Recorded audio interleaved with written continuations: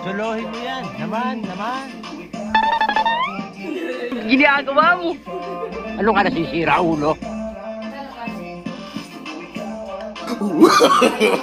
no, no, no, no.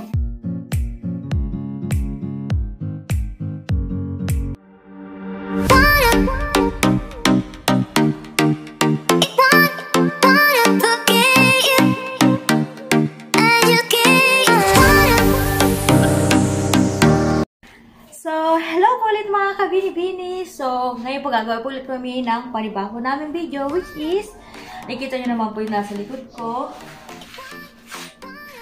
Makalat po siya. So, ngayon po ang gagawin po namin is, lilinisin po namin siya. Gagawin po namin siya parang mini studio po.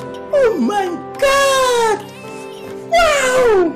po namin para po mas okay po yung pag-vlog namin. Pag po namin mga cover po ng mga songs. So, uh, at tabayan niyo po paano namin gagawing uh, maayos tong room na to. So, ito po room na to is po kami Bibi Sara pero di naman po kasi siya dito natutulog so parang naging bodega siya. So, ngayon po gagawin po namin is uh, aayusin po namin siya para maging uh, studio po.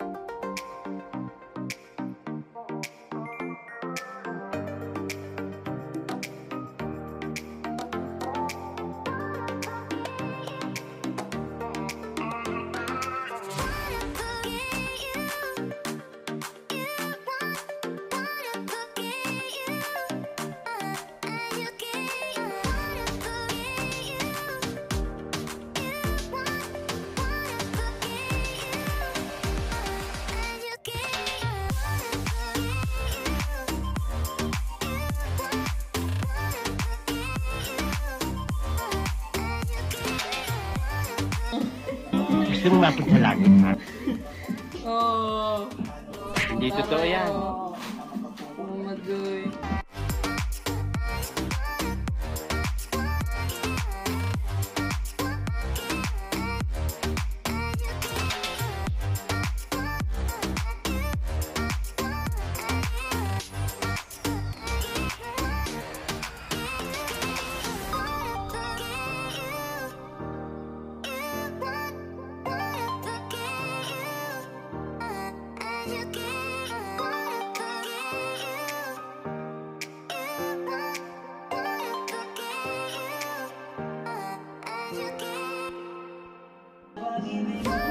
Bahala ka sa buhay mo. Ginusto mo yan, eh.